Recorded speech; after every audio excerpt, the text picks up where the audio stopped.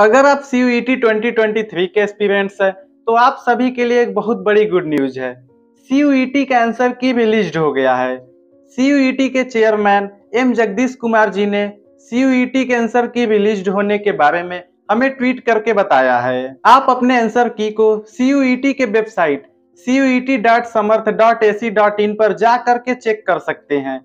लेकिन अभी सी के वेबसाइट पे सर्वर प्रॉब्लम के कारण आंसर की नहीं दिख रहा है। तो हो सकता है एक घंटे या दो घंटे बाद हमारा आंसर की जो है, वो सीयूईटी के वेबसाइट पर दिखने लगे। अगर आपको किसी क्वेश्चन में डाउट लग रहा है, आपको ऐसा लग रहा है कि आपका आंसर सही है और आंसर की वाला गलत है तो आप उस क्वेश्चन को चैलेंज कर सकते हैं। और चैलेंज करने का कास्ट जो है, वो है टू हंड्रेड रुपीज़ पर क्वेश्चन यानी कि एक क्वेश्चन को अगर आप चैलेंज करते हैं तो उसके लिए आपको दो सौ रुपए पे करना पड़ेगा। और चैलेंज करने का जो डेट है वो है उनतीस जून से तीस जून तक। यानी कि आपके पास दो दिन का टाइम है। आप उस दो दिन में क्वेश्चन को चैलेंज कर सकते हैं। सी से रिलेटेड ऐसे ही इंपॉर्टेंट अपडेट्स को पाने के लिए हमारे चैनल को सब्सक्राइब करना ना भूलें।